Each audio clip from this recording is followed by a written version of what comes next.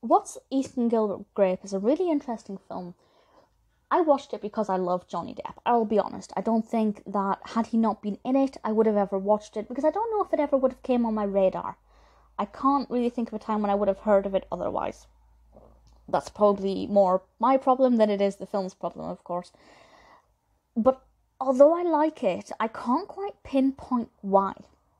So if you're a fan of this film, and you have a specific reason for liking it, maybe you enjoy the narrative development or the character personalities, you know, let me know. See if you can kind of analyze why I like it. But there's just something about it that I think I think it just ticks all of the right boxes. It's got an interesting premise, it's very well executed, the characters are certainly well developed, and Johnny Depp gives a great performance. So why there's not one thing that I thought was amazing, uh, the narrative for me is not always my kind of narrative. The characters are not my kind of characters but I think just the whole package is presented very well.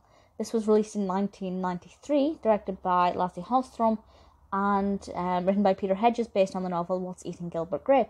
Haven't read the novel, can't compare it. If you do know how it compares, you know, feel free to let me know. A very well received film with 7.7 out of 10 on IMDb across a quarter of a million reviews, so definitely a very big achievement.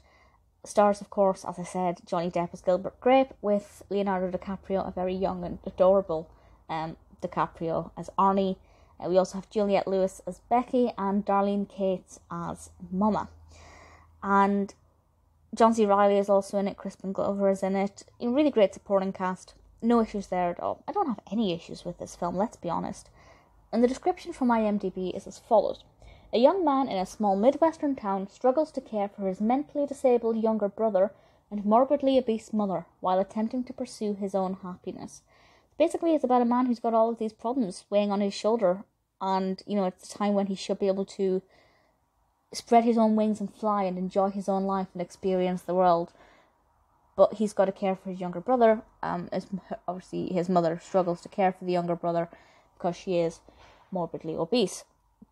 And I have to say, this is, I don't know if this is going to be a controversial opinion, but I'm so pleased that there's a character in this who is morbidly obese. I have to, because it's very rare that characters are even created for actors who are larger. Um, quite often they are the comic relief and they are larger, but to be morbidly obese is not something that you see in films.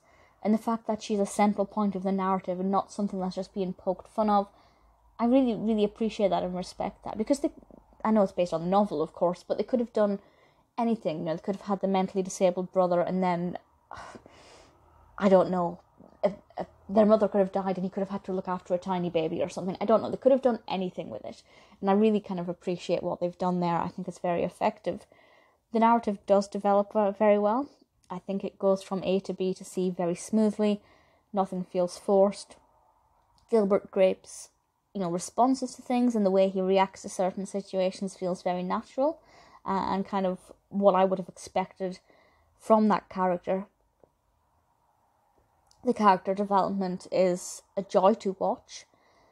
In terms of the genre for this, it's definitely a drama. There are occasion a few occasions where I feel like there's a little bit of comedic relief, but it's definitely more serious than it is not.